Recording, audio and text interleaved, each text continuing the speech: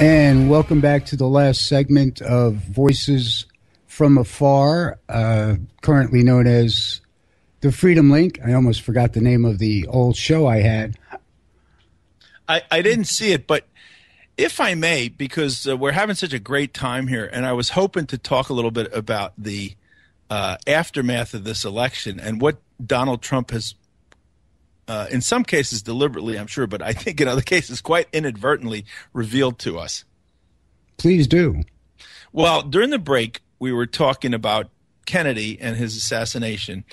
And I think in this since this election, uh, when we've seen this incredible display from so many Hillary Clinton supporters, but in particular the young people, the young adults, or they're supposed to be adults, young adults, and I and I look at how upset they are, and I understand why because they've been sold a bill of goods. They've uh, they're the victims of a tremendous, carefully crafted reality shift. All this Frankfurt School political correctness, uh, cultural Marxism, and that there's just this, you know, it's human rights. Like, you know, you, you can't say that stuff. You're you're going to be an evil person and everything. They're, they're, they're phony baloney because they supposedly care about the human rights of transgendered people and all of this, and women's rights and all of that here in the United States, and they could they they're totally ignorant of the rights of the people of Libya, who their hero, you know, Hillary Clinton has just totally trashed. All of these poor people from Syria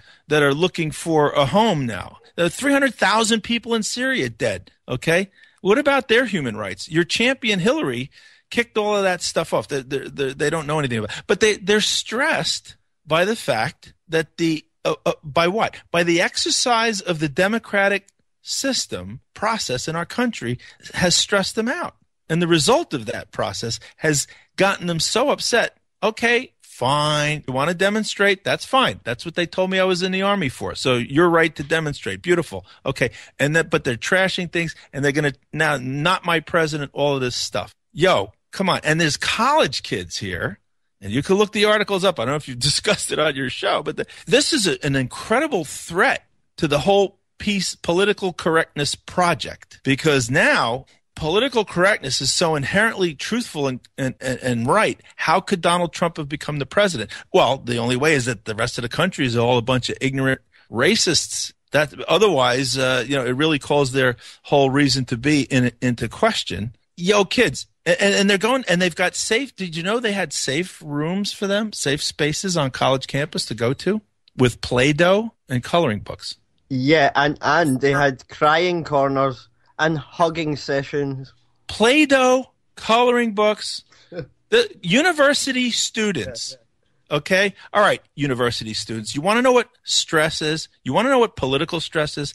How about when William and I was 10 years old and our beautiful, glorious, taking us blazingly into the future president was murdered? Okay. In front of the whole world. How about that for some stress? And I'll tell you what happened to me on that day. 10 years, I just turned 10 in October. My family had just moved to Northern Virginia from Long Island, New York. My father was working for AT&T, got transferred from Manhattan to Washington, D.C. He got down there earlier in the year and we finished school and then during the summer he moved us down there in the suburbs of Fairfax, Virginia, northern northern Virginia, right outside 14 miles outside of Washington in a brand new subdivision. in that in that subdivision, it was just loaded with uh, officers at the Pentagon. You know, and they'd come for they'd be there a couple of years and then they'd, they'd move captain, uh, Air Force captain around the corner, just got back from Vietnam flying uh, Phantom jets and stuff like that. A colonel in the Air Force lived next door to us. He and his wife had two daughters and a son. We all went to the same public school.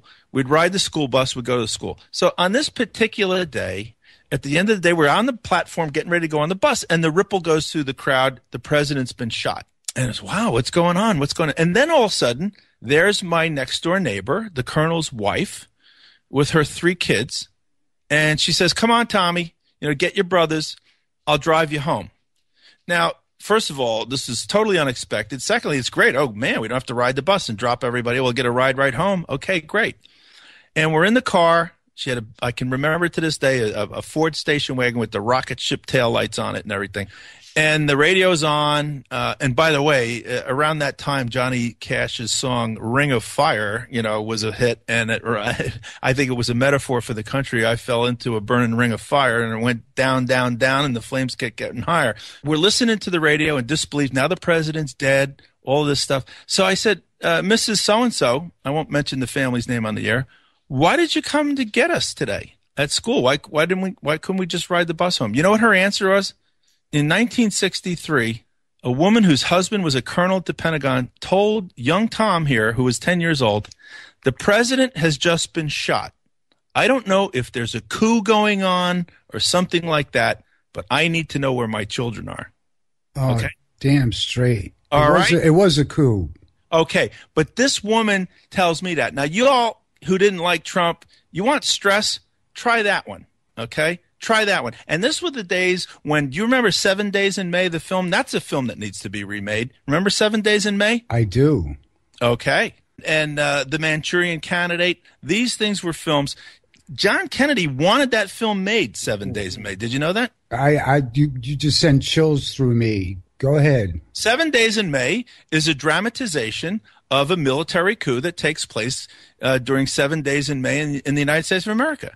It was a book and, and, and then a movie. Kirk Douglas is in it. Okay, Burt Lancaster, I think, played the general. The, uh, Yeah. All right, and this was uh, this was this stuff was being portrayed dramatically during the height of the Cold War. They should remake that film. Okay, Kennedy wanted. I think Franken was the the director. He wanted that film made so bad that he actually uh, vacationed on Cape Cod at a strategic moment, allowing the film crew to come into the White House and film. All right? Mm. So that's the kind of stuff, and Doctor Strangelove, Stanley Kubrick, you know, that's the kind of stuff that was going on at the time. So if this kid, if kids today want to know about political stress, that's only the beginning for young Tom, okay, at 10 years old. What happens next? The country falls into a burning ring of fire. Lyndon Johnson cuts loose all the restraints that President Kennedy had about going into Vietnam. And in a short time, we've got a half a million American soldiers killing Vietnamese people and getting killed themselves. Okay? Yeah. And there's no end to it. There's no, it gets worse and worse. By 1968, uh, you know, by 1968, uh, Johnson's not going to run. The whole world is blowing up. Uh, you had the Khe Sanh offensive uh, in the beginning, the Tet offensive actually in the beginning of that year, and then Khe Sanh. The country just saw th- there's not going to be an end to this war. All right. Now I'm, I'm a few years older, but guess what, friends? The draft was in place. So 10 year old Tommy here is looking at the Vietnam War, and every year that goes by, that damn war is getting worse and worse. And I'm getting closer and closer to the chomping jaws of the draft. Okay?